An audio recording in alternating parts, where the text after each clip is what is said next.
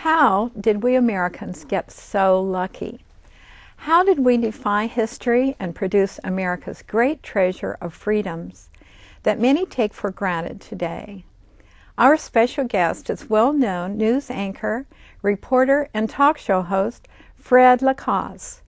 He is going to tell us some things we may have forgotten or even never learned about the founding of America, how our democratic republic was born, and how our unique values and individual rights have given hope to mankind.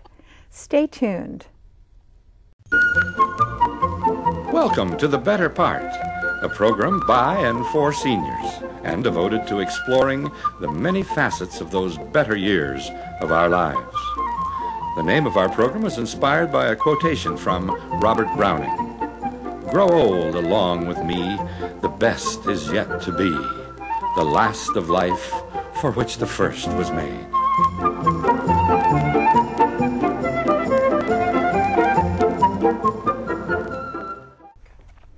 Mr. LaCosse, thank you so much for your visit to give us some insight into our American history. Thank you. My pleasure, Marilyn. So make make mine Fred, okay? All right. Thank you. Sure. Um, you've been giving some very exciting speeches in schools and organizations about our early democratic republic. And I like the fact that the subject is being covered with an eye of a reporter. Mm-hmm. How, what caused you to get involved in this endeavor? Well, this goes back, oh golly, six or seven years ago and I was up in Oregon visiting my son and his wife and their three daughters, my three granddaughters. And I asked them during the course of the, the visit there, uh, tell me what some of your classes are and what you're learning, oh, especially about early U.S. history, you know, how, the, how America was founded and the Revolutionary War and the Constitution and all that. And it kind of, shoom, went over their heads. And I thought, huh? Because these were pretty good students, still are. Uh, then they were like third grade, eighth grade, 11th grade. And that bothered me. So I thought, I'm going to do some research here. So I started investigating the various curricular frameworks from school districts in various states around the country. And I discovered that there has been a narrowing down of teaching that portion of our American history, that time of the Revolutionary War, etc. And that bothered me. Plus, there's been a narrowing down in, in terms of teaching basic civics that most of us had when we were seniors in mm-hmm. high school. A lot of school districts have not not kept up that, that momentum, if you will, so kids understand what's expected of them when they become adults. So that bothered me. So I thought, well, what am I going to do about this? Well, I was sort of semi retired from my business and television. So I started reading a lot of the great biographies that have been written about our founding fathers the past dozen to 15 years. A lot of great ones, by the way. And the more I read, you know, the old adage, the less I knew, so the more I studied. And I spent about two years studying. And I finally thought, I know, I'm going to come up with a presentation for school assemblies why not? Or classes. And so I did. I got 35 minutes worth about uh, the history, and then the last 10 minutes teaching kids about what they should do once they become adults and can vote. And that's really how I got started in this thing. And what I did is I hired, well, I conned about 10 of my close friends to do actually do the voices of our founding fathers, including my wife, Terry Lowry, who does a mean Abigail Adams, oh. I must oh. admit. And then I put together this presentation, and I've given it now over 100 times in schools and conventions and service clubs, and I'm really enjoying it. To set the stage uh, for the revolution, sure. would you tell us um, what it was like, uh, the people here prior to the revolution? Actually, most of them were Brits about 85 to 90 percent of them. Some from France, Spain, uh, the Netherlands, Norway, but 85 to 90 percent of them were Brits. And we're talking about 150 years here, too, before the Revolution. 1607, Jamestown, the first English colony, an America that survived, all the way up to the French Indian War, and that was 1756 to 63. And they wanted to leave England because they wanted to upgrade themselves. And there was quite a strata existing in England at the time. It's hard to move up a hmm. notch or two. So to do better, they thought, well, what the heck? Let's take a chance. Let's take whatever money we have. And they were risk takers. They had to be because they didn't know if they were going to make it all the way across the Atlantic let alone survive the first year.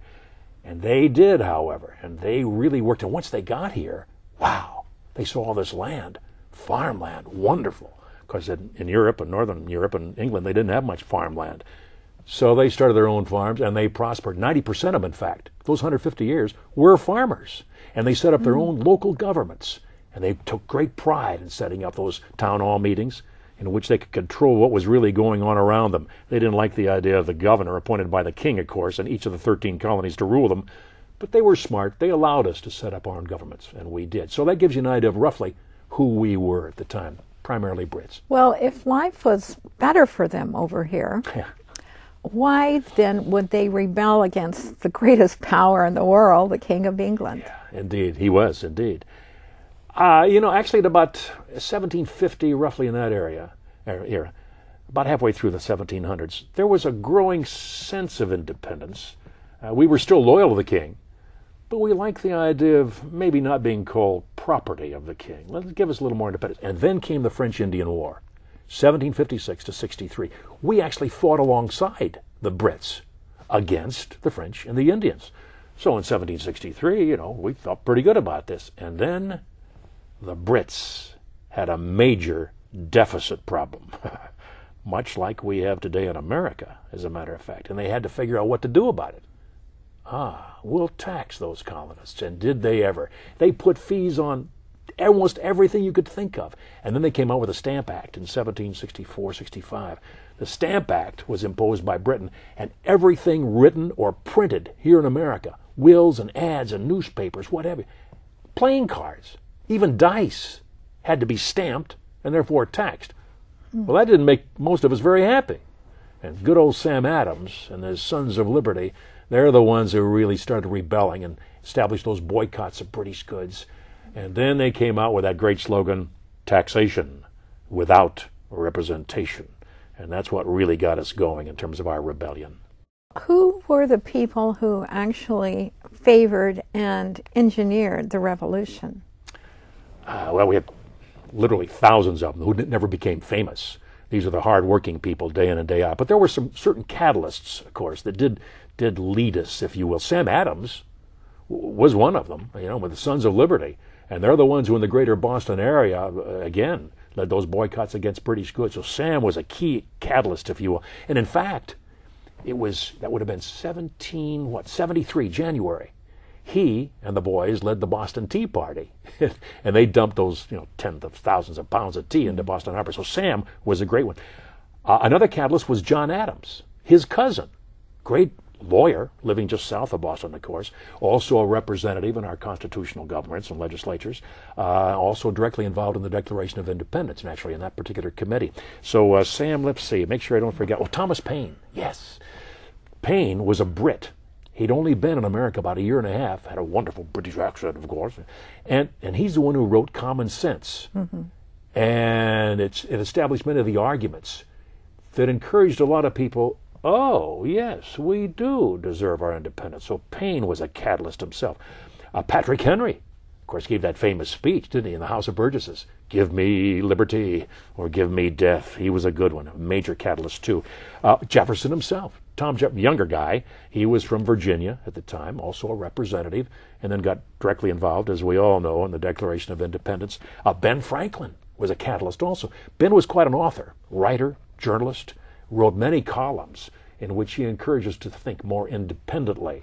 And, and in fact, Ben also wrote the first draft of the Articles of Confederation, 1774. And they sort of became a guide for us, if you will, to try to unite us a little bit. He was quite a catalyst himself. And then finally, George Washington, who was the inspiration for most of us. Great general, and in fact became our commanding general then in June of 75 outside Boston and Cambridge. So those are just a few of the catalysts who really became famous as helping us finally move into our rebellion, our revolution against the English.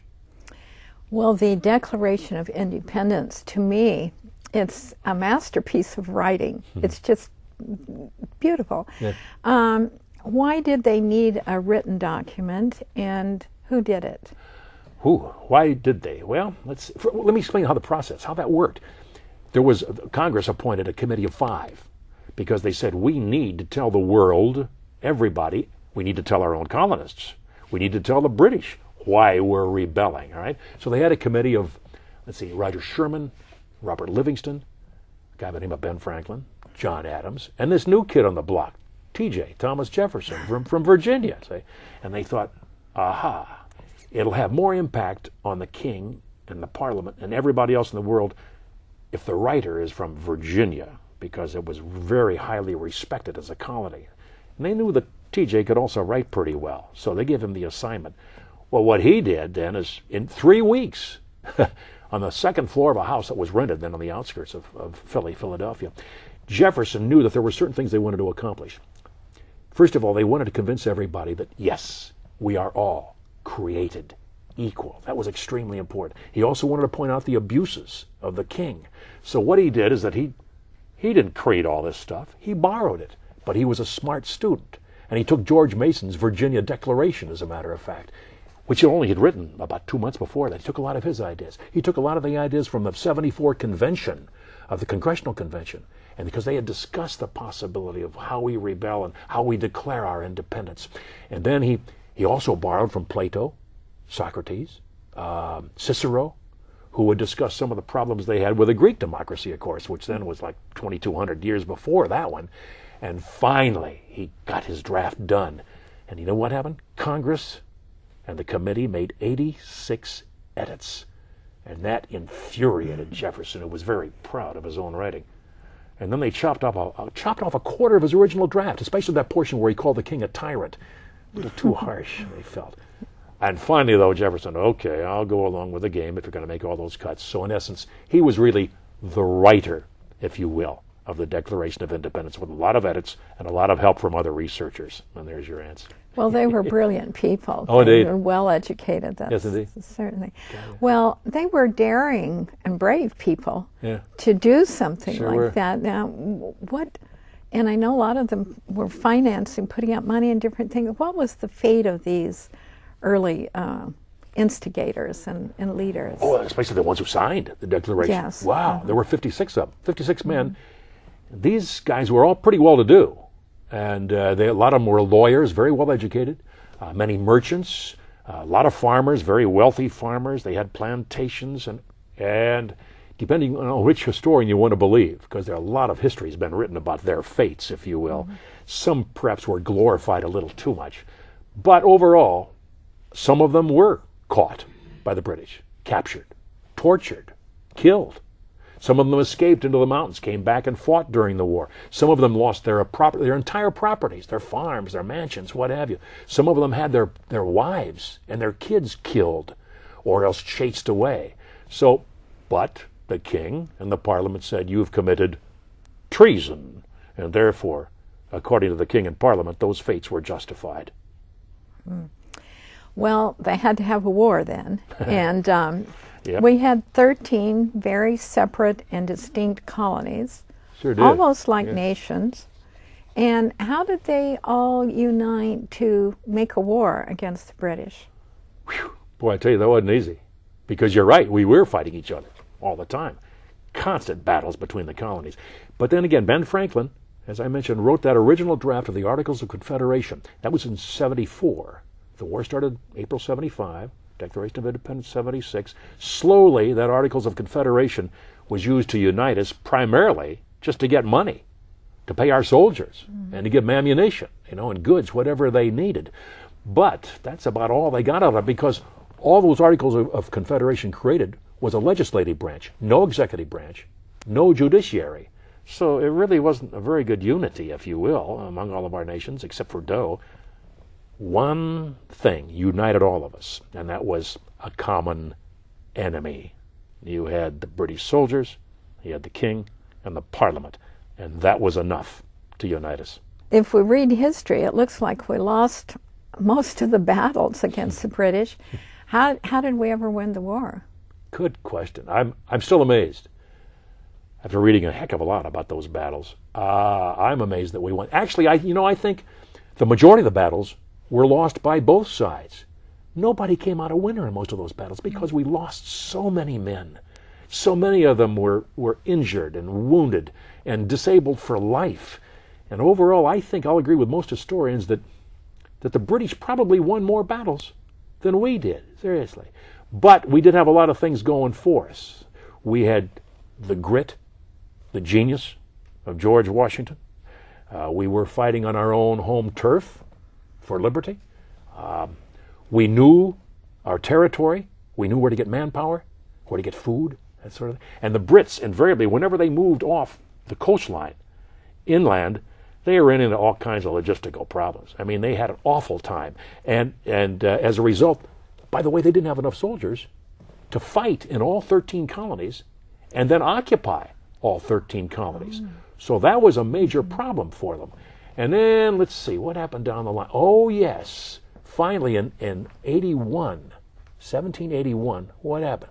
Almost 8,000 British troops under General Cornwallis s- surrendered.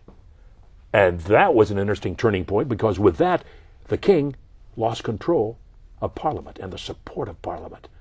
And then it was all downhill for the Brits after that. Finally, in 1783, the Treaty of Paris was signed, and we had won our independence.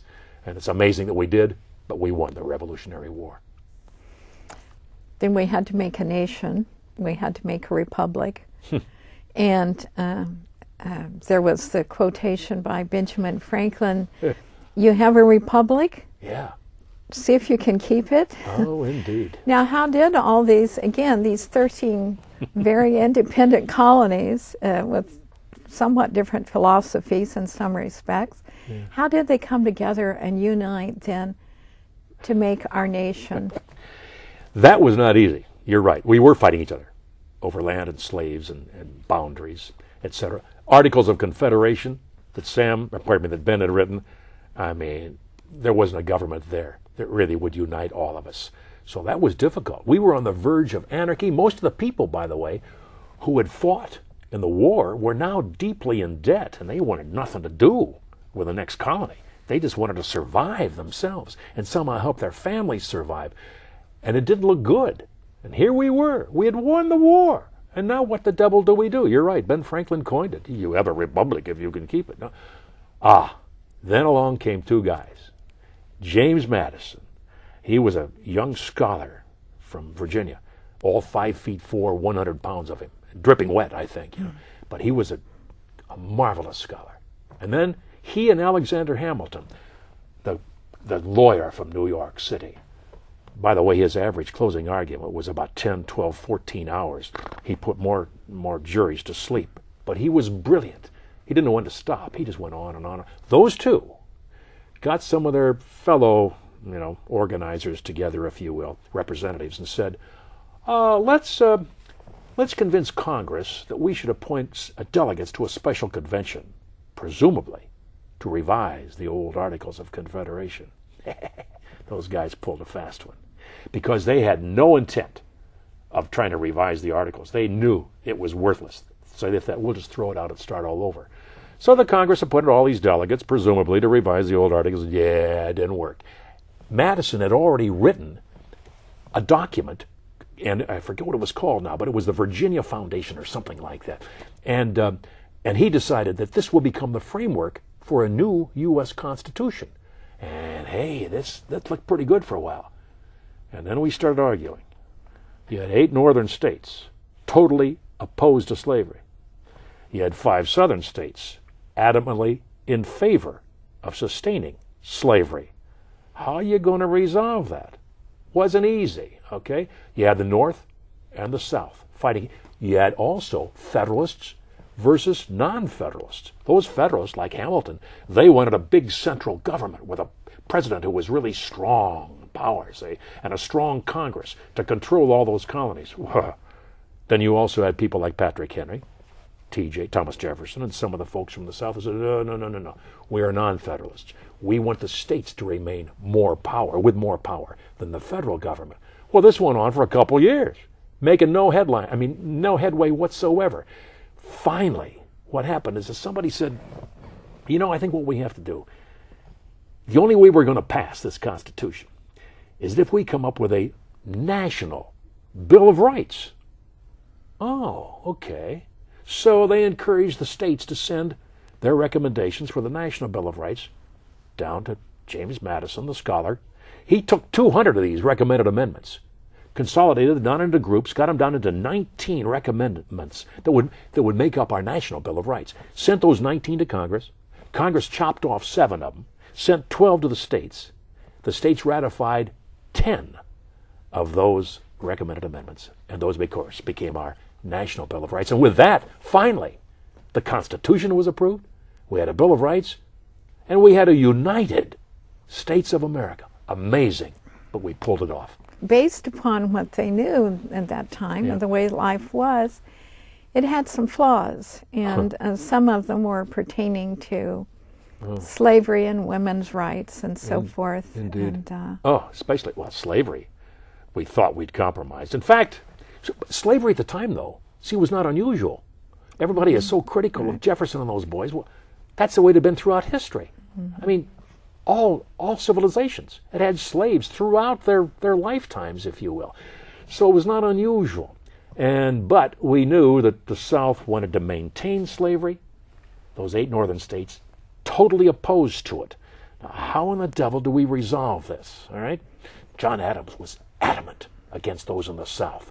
Jefferson said himself, he said, I have slaves, and, and there's no way we can free them now. They need to be educated. They need to be taken care of for at least another generation until they can be educated. So at least Jefferson was empathetic, if you will. But still, you couldn't get the states together at all. And what, did, what they came up with finally is called the Three Fifths Compromise. They decided that the southern states could count only three fifths of their slaves as being part of the state's total population. Hmm. Well, everybody kind of thought that's that's cool. That'll equalize power, if you will. And then the North said, okay, if you're going to have that, if we're going to grant you that, we're also going to make sure that you end slave trade within 20 years. Hmm. So the North thought, well, at least we can get rid of slave trade. And the South said, oh, we'll see about that. So they compromised. Yeah. But we know what happened.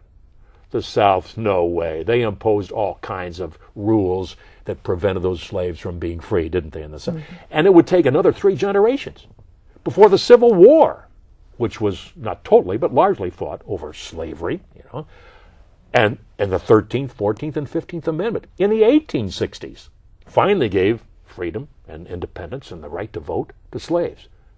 And that didn't work, did it? Because the South once again imposed other rules, and it took another 100 years after that for the civil rights movement and the legislation of the 1950s and 60s before those descendants of our African American slaves would finally gain their voting rights and their independence. So that was one that we really struggled with. Now, the other one you mentioned, women's rights. Oh, nothing happened there for a long time. I mean, Abigail tried. Oh, she wrote some rather tough letters to her husband John, and whew, was uh, was very upset with him. But of course, John knew that he had all other men on his side, and so no way were women going to gain any rights at all. In the early 1800s, though, it was interesting. There were some women who had money, and they would start colleges, little colleges throughout the East Coast. And finally, that gave women at least a little more education. That was 1850s or so. That's when Elizabeth Cady Stanton, and help me out, I can't remember the other one's name. Oh, the, um, I can't remember. Anyway, started the women's suffrage movement. And they think, ah, at least we'll have the right to vote. 1850s. Big deal. It took another 70 years after that before the 19th Amendment finally gave women the right to vote in 1920. So that's something we had a major problem with trying to resolve in our Constitution. Didn't resolve it until the 1920s, did we? It's about 220 years since the Constitution was ratified. Yes. And how how would you say that their their ideas and actions are affecting America today? Oh, every day. Every day we the newspapers are full of arguments about the Bill of Rights, the Constitution itself. Uh, in fact, the most recent one is after the, the health care plan was chosen, or pardon me, was passed. Uh, then states started suing the federal government. And uh, the last I heard, there were like 15 or 16 states that had sued the federal government because they said that's a violation of the 10th Amendment federal rights over states' rights. No, we want equal rights here. Uh, the feds do not have, should not have the power, according to the 10th Amendment, this is their argument now, should not have the power to tell someone, a citizen living in a colony, that you have to buy something, and if you don't buy it, we're going to fine you. So that's why all these states are suing the federal government. That's happening today. Take a look at the freedom of speech, freedom of assembly. Remember a few years ago when all those students were organized at the University of California campus and they lived up in the trees for about three years? Yeah. Right. Freedom of speech, freedom of assembly. We argued every day. All the TV stations in the Bay Area covered that constantly. Uh, we have some. Oh, th- look what happened in January. The Supreme Court. Five to four vote. This is the one, the corporations contributing dollars. They had the freedom of speech to do that. And isn't that interesting? And now we're arguing about that. I mean, the president in the State of the Union message even criticized the Supreme Court, and they were sitting right there in Congress, weren't they? They didn't like it, but he did. So we argue constantly about freedom of speech, freedom of religion, and all of our daily activities throughout the country. So those ideas of those founding fathers really inculcated, if you will, into the into the Constitution and the Bill of Rights have an impact on us every single day. What actions should we be taking now to protect all these freedoms and rights for ourselves and our grandchildren? You know those knee jerk reactions that we sometimes have? We hear somebody say something. We hear, for example, if you're a Republican and you hear George Bush say something, you will tend to think that's a pretty good idea, won't you? Because of your feelings about George Bush. Now, if you're an Obama fan and Obama were to say the same thing that Bush just said, well, you might like that idea because Obama said it based on your feelings about Obama. So I, have, I urge young people and all, all of us, whatever age we are, to avoid those knee jerk reactions. Be smart. Judge an idea based on its merits rather than who said it and how you feel about them. Somebody makes a statement, whether it's political or whatever it happens to be. Do they just make a loud boast or a claim without supporting it with evidence? Aha. And this happens a lot, doesn't it, in political campaigns? We think, wow, that's a great idea, but there's no evidence to support how they're going to accomplish that. Mm-hmm. So make sure, no matter what age you are, you use evidence and are always looking for evidence to support statements made by somebody else. Also, let me caution you about news. I was in news a lot of years in television, and I was in it in a day, fortunately, when the great majority of us honored Edward R. Murrow. We tried to be as fair as possible, presenting both sides of a story. Well, today, in this day and age, many news operations mm-hmm. have political agendas. Right. Many networks now have political agendas. Mm-hmm. I have difficulty finding people that I can actually watch that I trust on the air. Mm-hmm. John King, for example, is a great one. I think there are many others, believe me, but there are also a lot of them that I just laugh at. So if you read somebody that you really like, make sure you read somebody that you disagree with, because that's mm-hmm. as you get older, that's that's when you begin to realize you really start mm-hmm. learning things, mm-hmm. don't you? So in other words, be smart as as much as you possibly can. When you turn 18, vote. And if you have young people in your family who are going to be 18, make sure they vote and, and make sure they register also first when they're 18. Make sure they vote in every election, not just every four years when it's really popular, all right? Make sure that the young people you know get involved somehow in their schools, in their school politics for that matter, or get involved in community activities, whatever, and then possibly in politics. When a supervisor decides to have a special meeting, make sure you go because they're going to be talking about issues that affect you in your own particular neighborhood. Thank you so much. It's been so informative and so interesting, and you make it fun. Thanks, Marilyn. I wish I'd had you for my teacher when I was in eighth grade and had to memorize all the amendments and everything. It would have been more fun for me. It's been a pleasure for me to yeah, be here. Thanks, Fred. You bet. Take care.